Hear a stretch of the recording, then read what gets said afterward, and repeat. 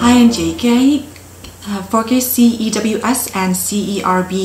cái wage subsidy and cái 2.000 đồng curb một tha, uh, một bốn mỗi 4 tuần cái schedule không phải từ đầu tháng đến cuối tháng cho nên hơi khó tính và khó keep track cái giờ của nhân viên and also um, nhân viên thì khó keep track là có là có làm hơn cái 1.000 đồng hay không trong cái 4 tuần so cái này là người nhân viên thì phải tự lo nhưng em biết là anh chị cũng lo cho nhân viên anh cũng muốn nhân viên tại vì nếu nhân viên muốn muốn tiếp tục uh, đủ điều kiện cho curb thì phải tự keep track of the hours and nếu không đủ thì phải uh, thì đủ điều kiện thì um, nhân viên phải tự trả lại cái số tiền curb. nhưng um, vì anh chị anh chị người Việt Nam cộng đồng với nhau. And lo lắng cho nhau cũng anh em nghĩ là người chủ cũng muốn keep track cho dùm cho cho nhân viên luôn ensure uh, make sure là chắc chắn ờ, nhân viên dẫn đủ điều kiện. Tại nếu như người nhân viên làm 1.005 đồng trong 4 tuần chỉ có 5 đồng thôi mất cái số tiền curb ổn quá. So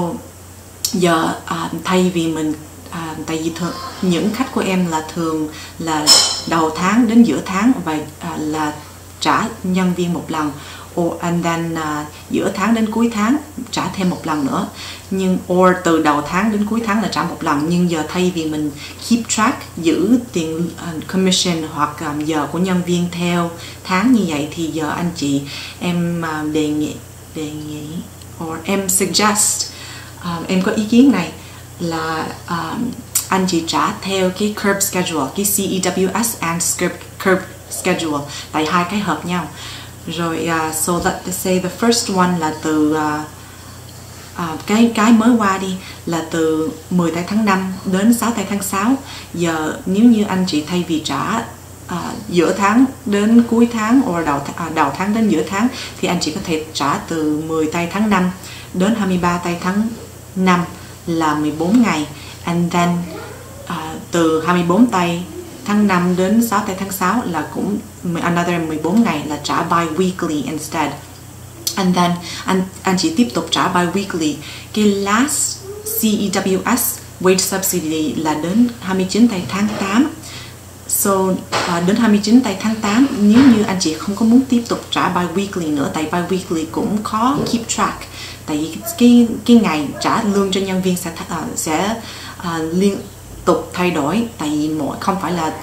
giữa tháng nữa mà uh, or cuối tháng để trả nhân viên mà uh, mỗi 14 ngày. Sau cái ngày sẽ thay thay đổi thay đổi.